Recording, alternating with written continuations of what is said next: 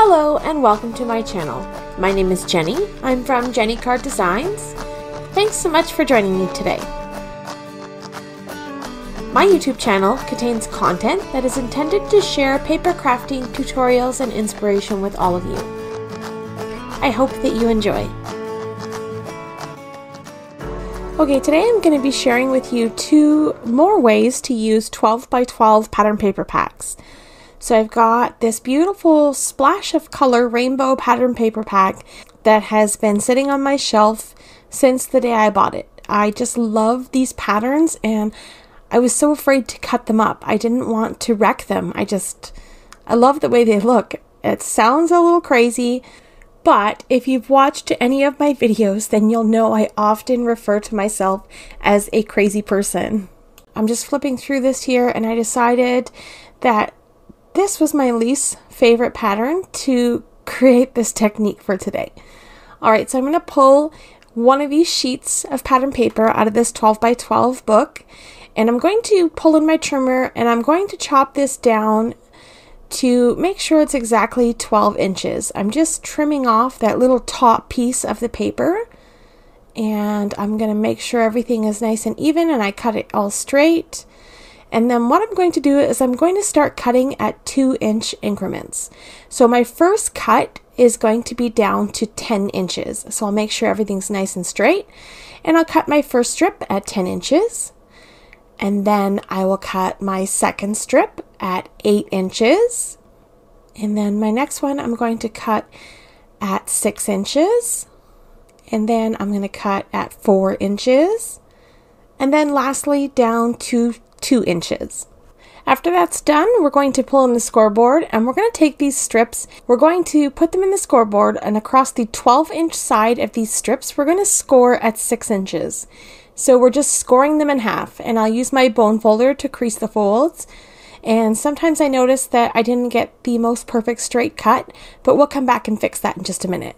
So I'll go ahead and I'll score all of these little strips of paper and we'll end up with six pieces that measure two by six folded in half. Okay, so I'm going to take my trimmer and take a look at some of those edges that aren't quite perfectly straight and I'll just trim off the little sides so that you can't really tell so that we've got pattern on both sides of this little piece of paper.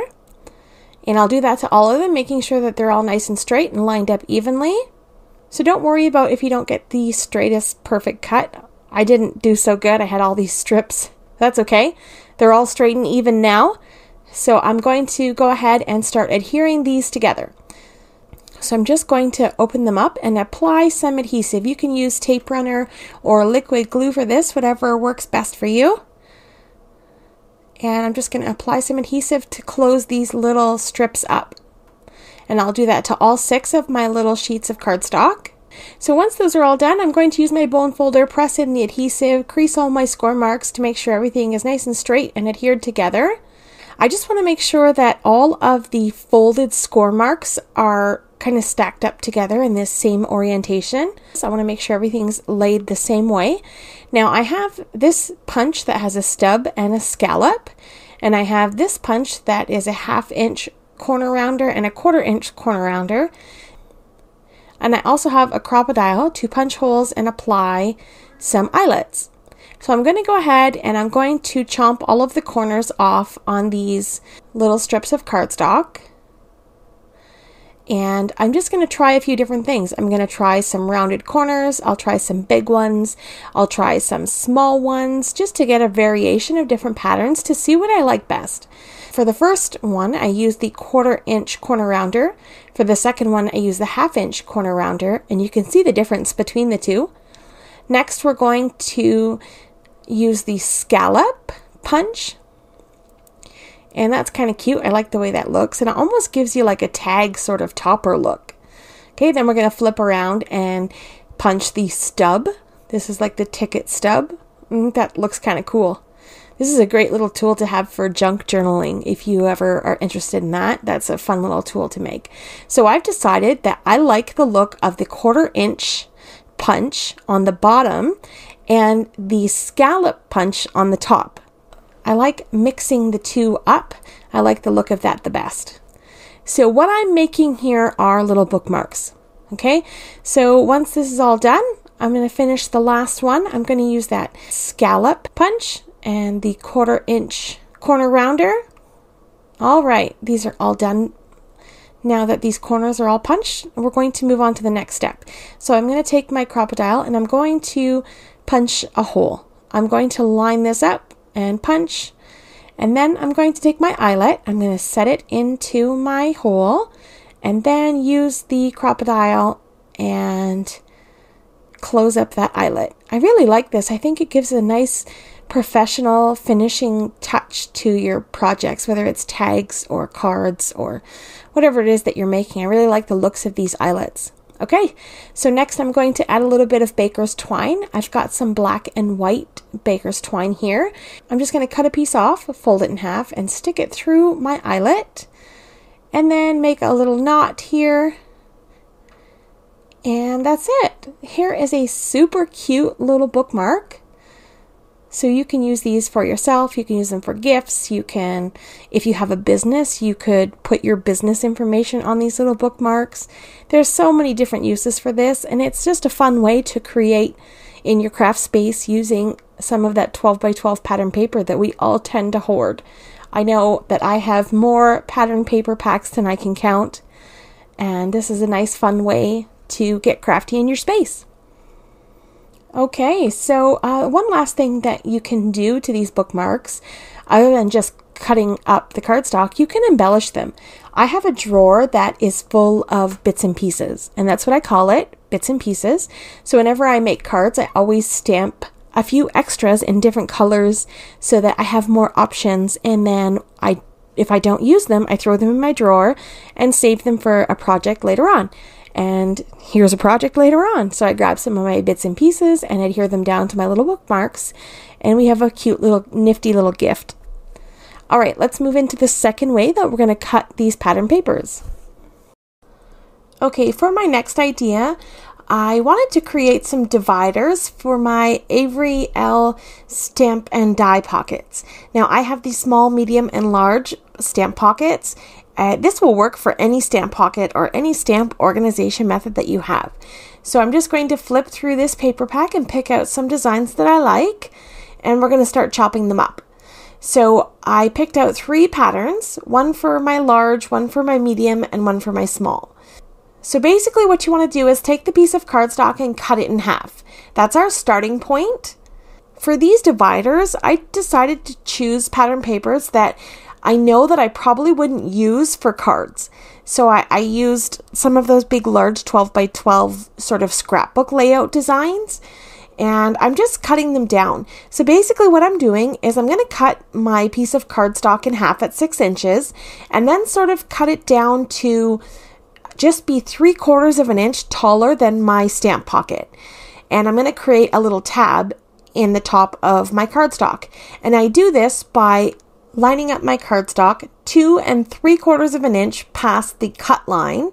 And I'm putting these two pieces of paper together and I'm cutting them at the same time. So once my cardstock is lined up, I'm going to bring my cut blade to the top, close my little guide, and I'm going to slowly cut my cardstock down. And I only want to bring that blade down to three quarters of an inch. And then I'm going to stop if that makes sense. I'm just cutting a little notch in this cardstock. And now I'm going to flip my cardstock around and bring my blade up through the bottom and cut just to that little first cut line. So we're just cutting off a little rectangle and it'll leave us with a little tab where we can label our dividers. And just to create a finishing touch, I'm going to use my corner rounder and round the corners. So I do that for all four corners. And then I also wanted to round the corner on the inside of this little tab for my divider. So how I do that is just close off one of the sides of my corner rounder. And then I'm able to maneuver it in there and cut that off. And then we've got two dividers out of one sheet of 12 by 12 cardstock and I didn't really like the way that one turned out. I cut it a little bit too short.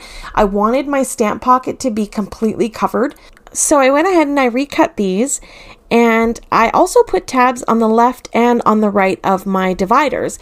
so then it would be easier for me to see visually in my storage bin. Okay, so this is as tall as my stamp pocket with three quarters of an inch of a tab over top. And I can use my label maker to label these little tabs. So I go ahead and I made the same dividers for my medium stamp pockets, creating them just three quarters of an inch larger as well. And then I get two dividers for the medium stamp pocket with a little bit of cardstock left over that I can use for cards or scraps or whatever. And for the small stamp pocket, I get four dividers out of one sheet of cardstock. And I did the same thing by flipping my divider tabs on the top from left to right so that I have a nice visual in my little storage bin. So here's a quick look at what I, we've cut up so far. So the small stamp pocket divider ends up being five and three quarters by five and three quarters. And the medium stamp pocket dividers ends up being eight and a quarter by five and three quarters. And the large stamp pocket divider ends up being six inches by ten and a half inches. So another idea I had you get less, but you get more of a sturdy divider. So what I've done is I've taken the pattern paper and I score it in half and then adhere it together. So then we have Instead of two stamp pocket dividers out of a 12 by 12 sheet of cardstock, we get one, but it's a little bit more substantial. And the pattern ends up on both sides, so that makes them reversible. So here's a look at all of the stamp pockets that I created today. And like I said, this will work for any of the stamp pockets that you may have, or just even your stamps. You don't necessarily have to have them in stamp pockets. You can leave them in the original packaging that they come in, and you can still put in dividers to separate them. So that's another way to use up the, the 12 by 12 cardstocks that are in your stash and to organize and get crafty in your space.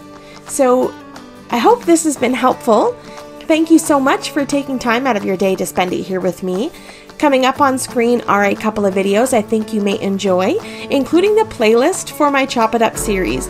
I have many different videos that share multiple different ways to cut up these 12 by 12 paper packs and get to using your crafty stash. Thanks for joining me today. Have yourself a lovely day, and I will see you in the next one. Bye.